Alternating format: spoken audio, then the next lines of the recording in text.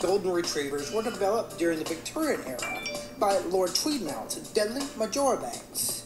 Try saying that three times.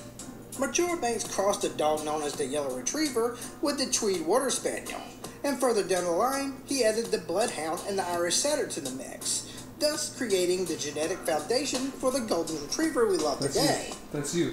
The Learn about your modern day. Goldie made its debut in 1908 Hey, in a no, you British dog can't. show. Learn about your history. Are you a ferocious lion? Why do you have to eat all the food? You do realize that's the Tree of Doom's sister, right?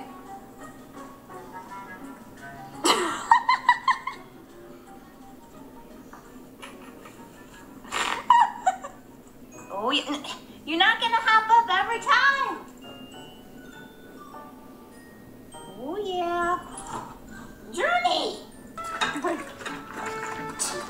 Oh, you want to see that? You You can't run emojis. You can't. You can't. You can't comment. comment. You can't comment, bro. What was that? Oh, the lip. The lip. Are you a ferocious lion?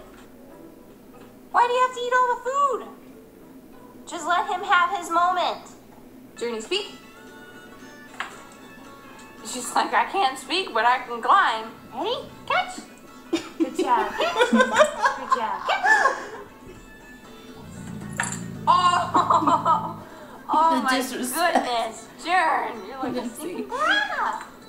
Chicken. Oh, Tucker, you gotta be faster than her. She's a stinking piranha. Good